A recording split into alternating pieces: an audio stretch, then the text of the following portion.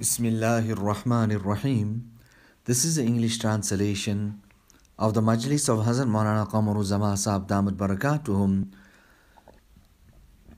which took place on Tuesday, the 27th of Muharram, 1445, corresponding with the English date 15th of August 2023. Hazrat Wala is starting off by quoting the ibarat of Hazrat Sheikh Abdul Haq Muhaddis Dehlvi Rahmatullah alayh.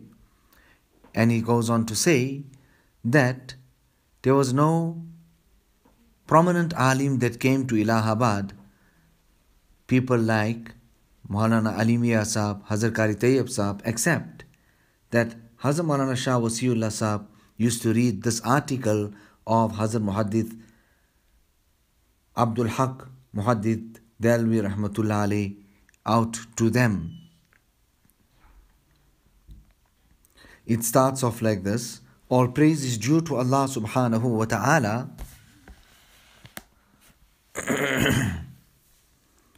Peace and salutations to Rasulullah sallallahu alayhi wasallam. This insignificant servant Abdul Haq Ibn Saifuddin Turk Dehlvi Bukhari states all erudite and insightful scholars who are listed amongst the enlightened and reliable personalities accept that the most effective, in fact, the most superior form of ibadat is the sohbat and the companionship of the Ahlullah and remaining in the company of the close servants of Allah. When a seeker observes their steadfastness, firmness, and unity of purpose, he develops strength and courage. Consequently, the fatigue of worship and the difficulties of spiritual exercises, which are essentials of this path, become easy for him. In fact, when he holds their beauty, when he beholds their beauty, his heart develops a special nur and effulgence. As a result, the darkness of doubts and misforgivings, which is the real cause behind the barrier between him and Allah Ta'ala, is removed from his heart. now, look, Sheikh Muhaddith Rahimahullah is saying that the companionship of the spiritual masters is one of the most superior forms of ibadat. The proof he is giving is that when a seeker observes their firmness and steadfastness, it gives him courage and strength. This enables him to bear difficulties in doing good actions. When he beholds their beauty, his heart develops enlightenment which removes the darkness of doubts and the veil is raised.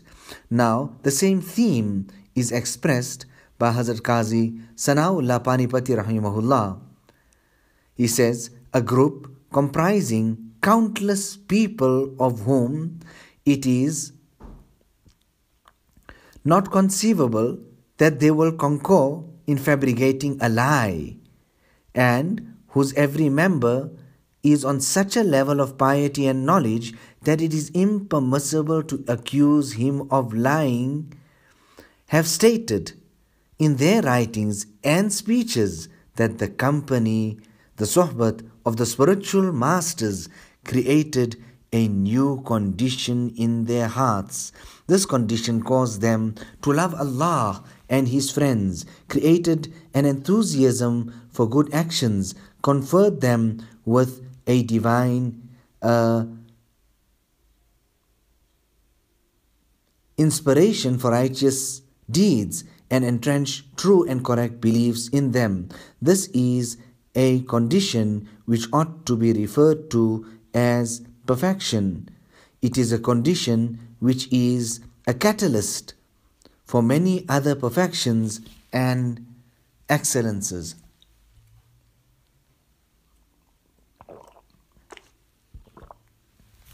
The Qazi prevents a striking and cognate proof of the blessings and benefits of the company, the sohbat of the spiritual masters. Namely, countless people develop a new spiritual condition which they did not have previously. He then describes the group wherein every member is on the highest level of piety and knowledge, making it impossible to accuse them of fabricating a lie.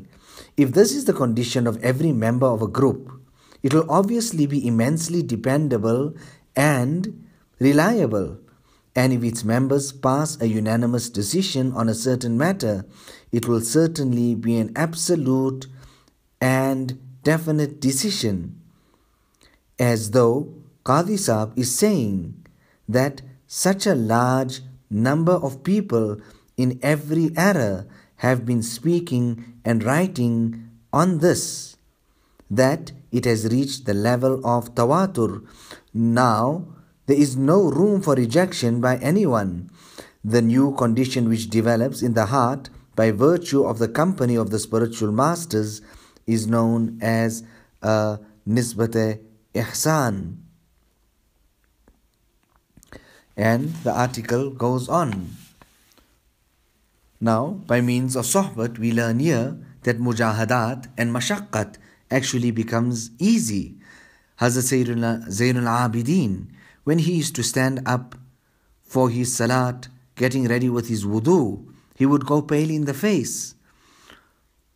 On people inquiring, he would answer, Do you not know in front of whom I'm going to stand? You know, it just came to my mind now that I should read uh, from this. I didn't, I didn't even have it uh, anyway. It came to my mind now, and I'm reading from it. Now Allah Ta'ala bless us with these type of ahwal. Now here we go on. Hazrat Zainul Abidin and Asmu'i Asmu'i relates, I was performing tawaf of the Kaaba one night when I saw a youngster holding onto the ghilaf, the cover of the Kaaba, saying these couplets.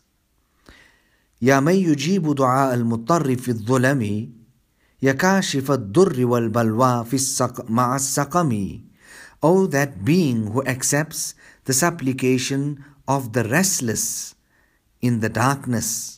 O the one who removes affliction and grief from the sick. قد نام وفدك حول البيت وانتهبوا وأنت يا حي يا قيوم لم تنمي The delegation which came to you walked around the Kaaba, then slept and woke up again. But you, O the living, the upholder of all, never sleep. أدعوك ربي حزينا هائما قلقا فارحم بكائي بحق البيت والحرم O my Allah, I am beseeching you while I am in the state of worry, distress and anguish. So show mercy to my crying by virtue of the Kaaba and the Haram.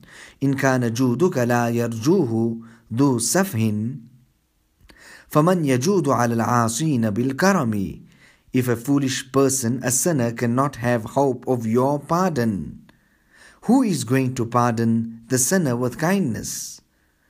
The person read the above couplets, cried profusely, and then made the following dua ألا أيها المقصود في كل حاجة شكوت إليك الضر فارحم شكايتي O you who are the objective or for every need. I describe my problem to you, so remove my problem. Allah, Ya Rajai, Anta takshifu kurbati, fahabli Dunubi, kullaha waqdi hajati. The being in whom I placed all my hopes, you alone can remove my worry and grief, pardon all my sins. and fulfill my needs. أتيت بأعمال كباح ردية وَمَا فِي الْوَرَاءِ عَبْدٌ جَنَا كَجِنَايَتِي I have come before you with the despicable and contemptible sins. I do not think that there is anyone in the world who is a worse sinner than me. أتحرقني بالماء أتحرقني بالنار يا غاية المنى فأين رجائي ثم أين مخافتي Oh, the ultimate, the end of all my hopes, are you going to burn me in the fire? If this were to happen, of what benefit would my hopes have been, and of what benefit would my fear have been? In other words, my hopes in you and my fear of you did not benefit me. After saying the above, the person lost consciousness and fell to the ground.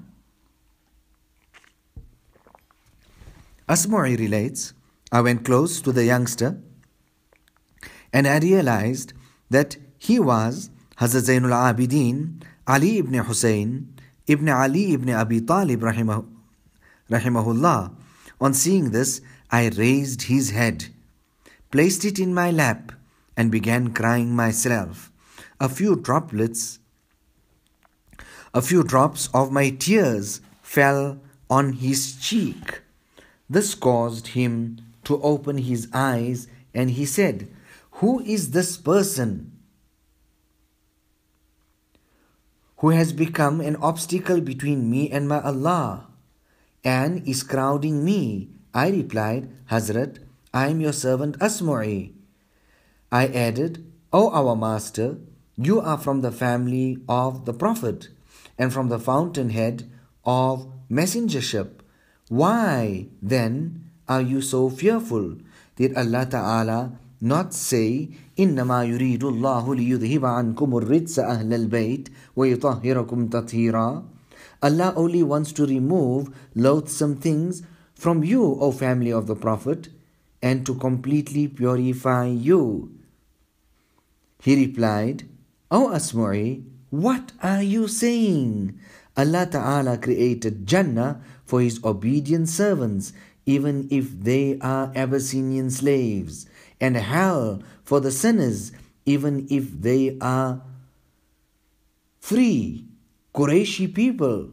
Did Allah Ta'ala not say, فإذا نفخ في السور فلا أنساب بينهم يومئذ ولا يتساءلون فمن ثقلت موازينه فأولئك هم المفلحون ومن خفت موازينه فأولئك الذين خسروا أنفسهم في جهنم خالدون Then when the trumpet is blown neither will there be any kinship on that day nor will they ask about one another then he whose scales are heavy it is they who are successful and he whose scales are light, it is they who squandered their own selves, abiding in hell forever.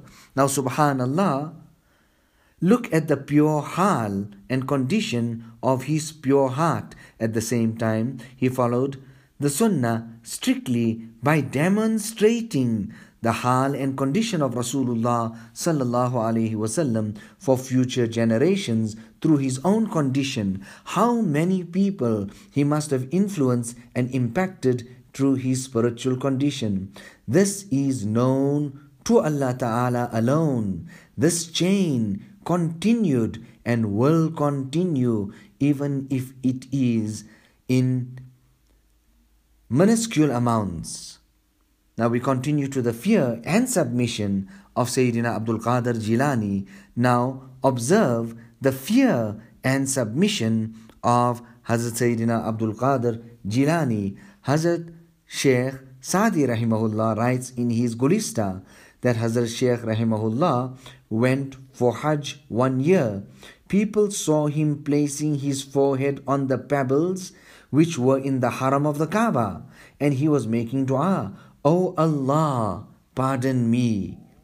If I am deserving of punishment, then raise me on the day of Qiyamah as a blind person so that I do not have to feel ashamed in front of the pious ones. Now, subhanallah, what a beautiful condition of hope and fear.